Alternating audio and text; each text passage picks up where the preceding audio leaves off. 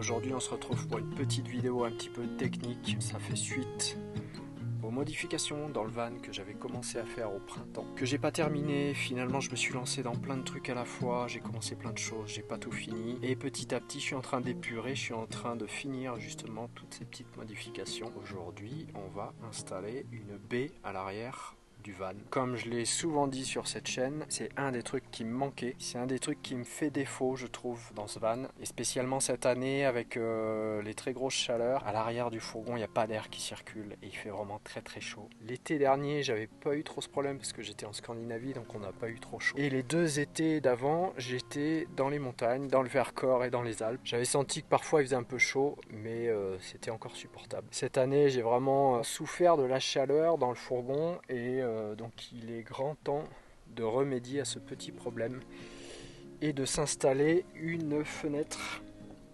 ici avec moustiquaire, rideau occultant euh, et comme ça on va pouvoir avoir un petit peu plus de lumière à l'arrière en hiver, ça va être très bien.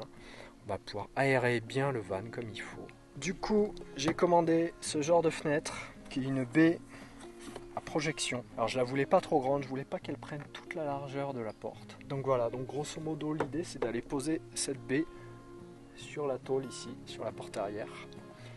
Ce sera une baie projetable donc elle va pouvoir se soulever comme ça. Donc la mission du jour aujourd'hui c'est de démonter l'habillage intérieur, enlever l'isolation, préparer la porte, découper, euh, non dessiner d'abord euh, la forme de découpe. Je vais pas découper aujourd'hui parce que j'ai commandé la fenêtre mais j'avais oublié de commander un, joint en caoutchouc qui est censé faire l'étanchéité.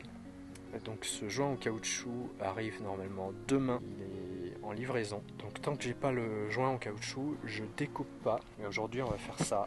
Demain on ira chercher le joint en caoutchouc et on passera aux choses sérieuses, on passera à la découpe, à l'installation de la fenêtre. Et c'est parti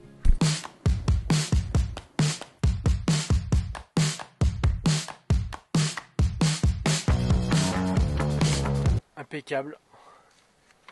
Ça n'a pas bougé, c'est sec. C'est pas moisi.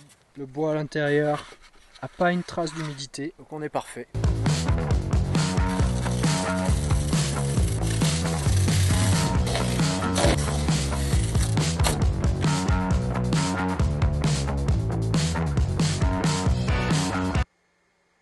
Je viens de m'apercevoir que le cadre ne rentre pas, le cadre intérieur ne rentre pas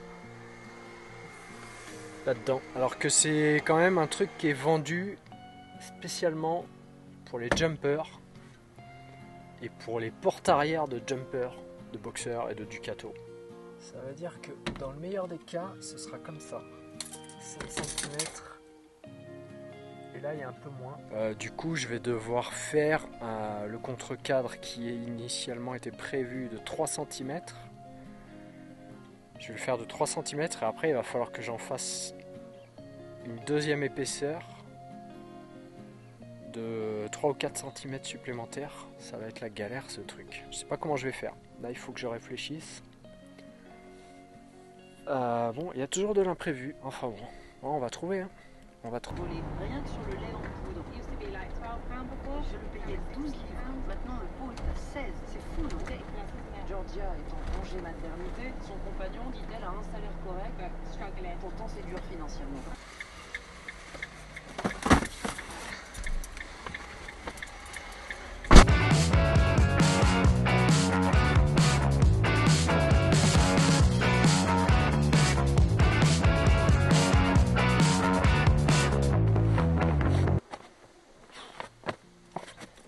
Pas la partie la plus rigolote. Voilà, et on va enlever ça.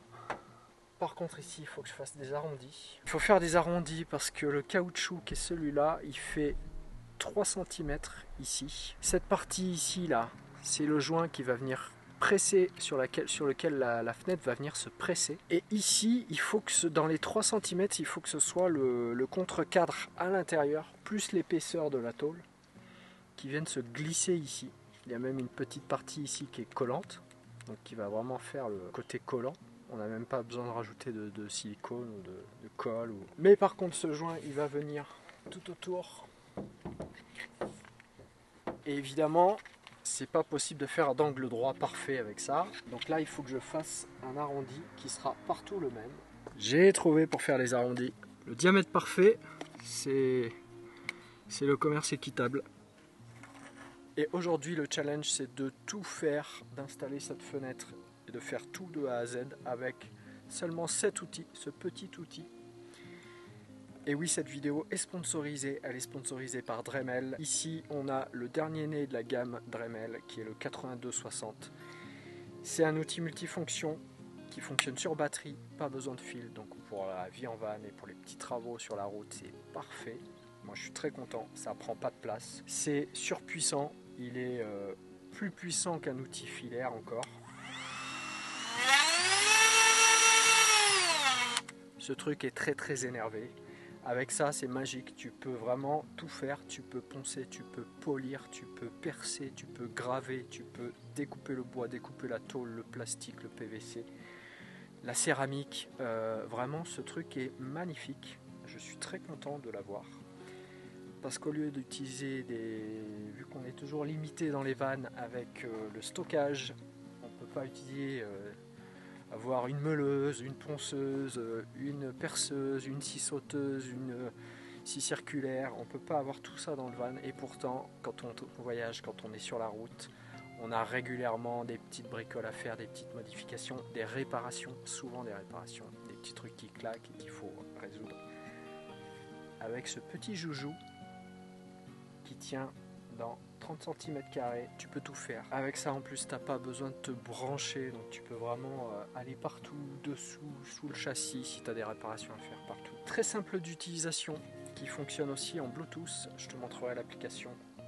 Euh, application qui te donne plein de conseils et qui te dit à quelle vitesse il faut faire tourner l'outil en fonction de la matière que tu vas travailler il te conseille, il te donne l'outil et euh, le petit embout aussi faut utiliser. Parce que ces petits embouts sont évidemment interchangeables et très rapidement. Donc il y en a plein différents. Il y a des petits trucs pour faire de la découpe de bois, pour poncer, polir, abraser. Et encore ça, c'est ce qu'il y a dans le coffret.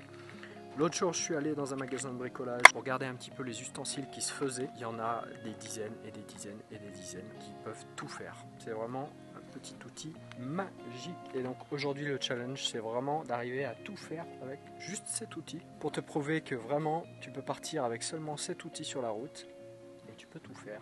Là on a juste on-off. Ici on a un petit bouton qui permet de varier le nombre de tours et la puissance, le nombre de tours par minute qu'on veut. Et voilà aujourd'hui le challenge c'est ça. Donc c'est parti.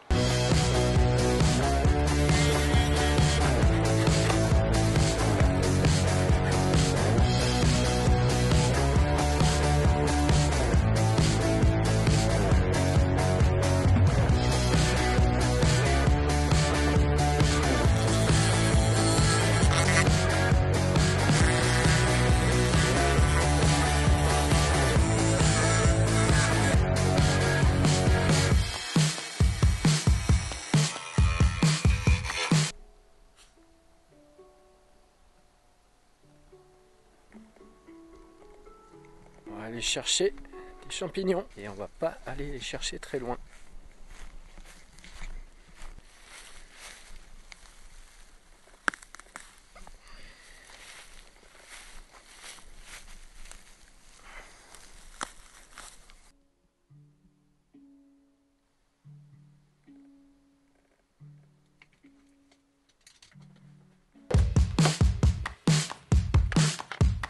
connecter mon outil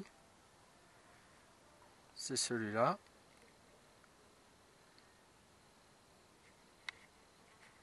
Hop, on fait bouger la molette et du coup, terminé. Batterie 95%, utilisation facile 23 minutes, difficile 11 minutes. Recherche de fraises. Alors matériaux, acier, utilisation, découpe. Trouver les accessoires, le petit disque, ça. Recommandé vitesse de rotation entre 25 000 et 35 000.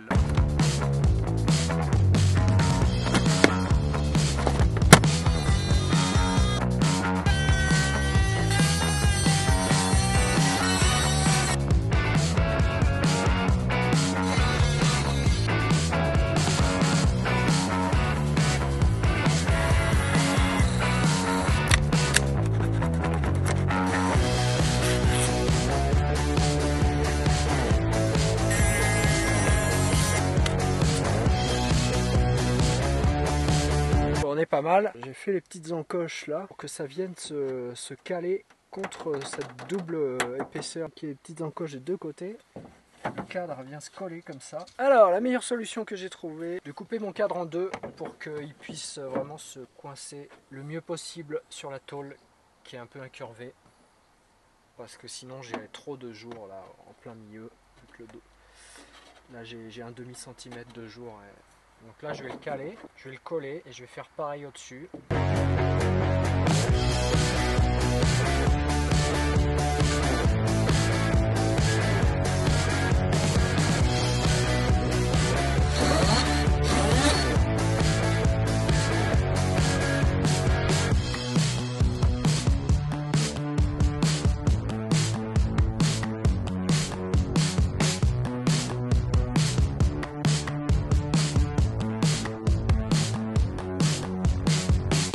L'idée là, c'est vraiment d'utiliser le contreplaqué en 5 pour avoir la bonne épaisseur parce que normalement le caoutchouc il fait 30 mm.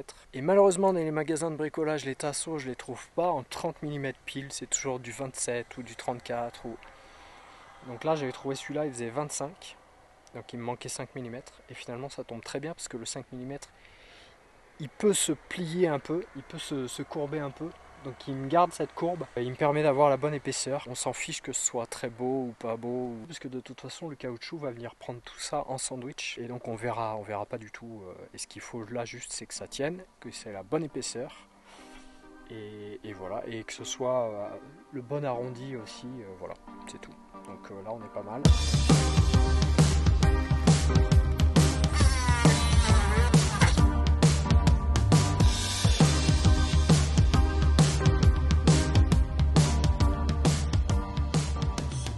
Qu'il faut pas le tirer, surtout pas. On va le mettre tranquillement.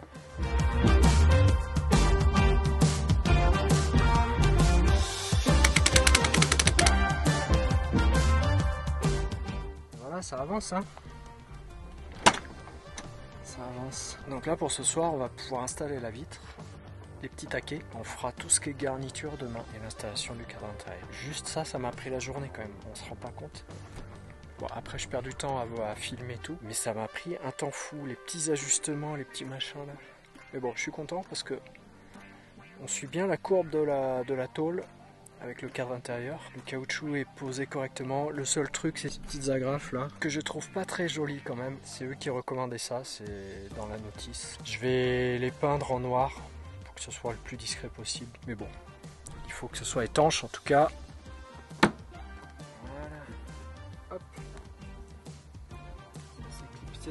On a les petits taquets comme ça qui sont censés faire en sorte que ça s'ouvre ou que ça se ferme. Donc on va essayer d'installer ça maintenant. Les trois petits taquets d'abord et ensuite les petits vérins. Et après, on a fini pour aujourd'hui.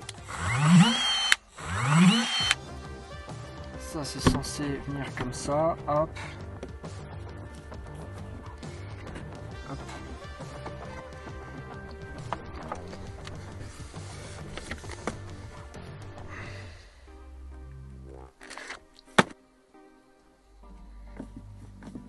Je suis tombé en rade de carte euh, SIM. Non, de carte SD. Carte SD. Bref, je suis tombé en rade de caméra. J'ai fini d'installer ce truc. J'ai enlevé les petits plastiques de protection, toute la structure qui tient la fenêtre et qui est censée la rendre étanche. Bon ça de toute façon on peut pas le savoir. Tant qu'il n'y a pas eu un gros orage, même pas une petite averse mais un gros orage, c'est vraiment quand il pleut beaucoup qu'on est fixé sur la vraie étanchéité des fenêtres et des lanternes. Donc ça devrait le faire. hein. Visuellement en tout cas ça me convient. Il nous restera demain à faire euh, tout l'habillage, euh, remettre l'isolant et le cadre, hein, le fameux cadre intérieur. Alors ça, ça va être un grand moment aussi parce qu'il est encore plus grand et qu'il dépasse. Enfin bon, bref, on verra ça demain. Je suis déjà euh, bien repu de ma journée.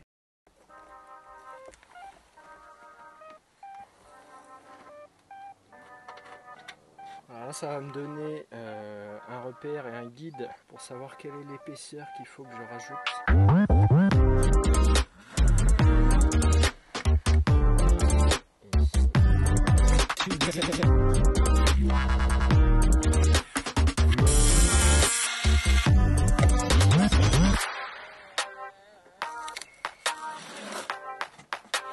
fait, j'ai fait un système d'escalier pour ensuite venir plaquer un contreplaqué de 5 mm, donc qui peut toujours se plier légèrement. C'est le seul moyen que j'ai trouvé pour garder cette courbe, parce que sinon le lambris se casse, il se, il se tord trop, il se casse. Évidemment, je vais pas laisser ce truc là comme ça, c'est moche que ça en peut plus. Donc là, maintenant, je vais faire une petite garniture. Le tout avec le cadre par-dessus. Et normalement, on sera sur quelque chose de propre. On verra ce que ça donne dans le temps. En tout cas, la fenêtre est posée. Là, je vais installer le cadre, me faire mes petites euh, découpes, mes petites finitions pour l'intérieur. Bon, voilà, ça touche à sa fin, quoi.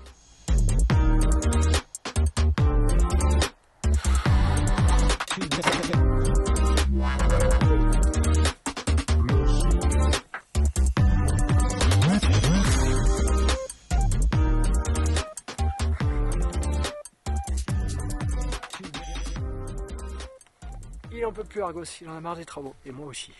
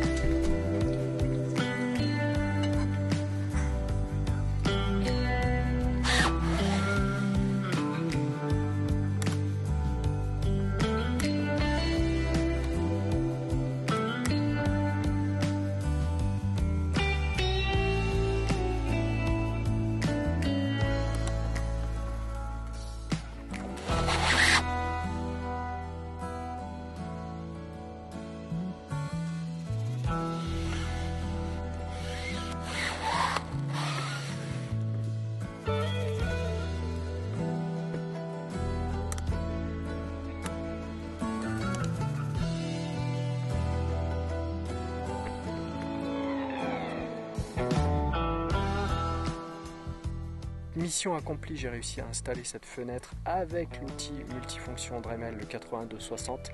Merci à eux encore d'avoir sponsorisé cette vidéo. Je me régale avec ce petit outil. Je suis très content de l'avoir en tout cas. Merci d'avoir regardé jusqu'au bout. À venir sur cette chaîne bientôt, j'ai mon chauffage à installer. Je vais l'installer certainement courant septembre avant que le froid arrive. Ça, ce sera le sujet d'une vidéo. J'ai plein de petits trucs à faire aussi. J'ai la vidange que j'aimerais bien faire je ne suis pas mécanicien dans l'âme, mais j'ai appris à la faire l'année dernière. Donc euh, petite vidange et changement des filtres. C'est un truc que j'avais fait l'année dernière euh, avant de partir en Scandinavie. Et là, cette année, je voudrais le refaire et le filmer et le montrer. Ça, c'est pour les côtés un peu techniques. Il y aura plein d'autres petits trucs en aménagement aussi. Plein de petits trucs qui sont pas finis. Donc cet hiver, ça va vraiment être euh, consacré beaucoup à ces problématiques d'aménagement et de modification du van. Et voilà, et c'est déjà un beau programme. Donc euh, merci d'avoir regardé la vidéo et je te retrouve la prochaine fois. Je ne sais pas encore quand ça va être parce que j'ai plein de choses en cours et donc euh, voilà. Et je te dis à la prochaine. Allez, ciao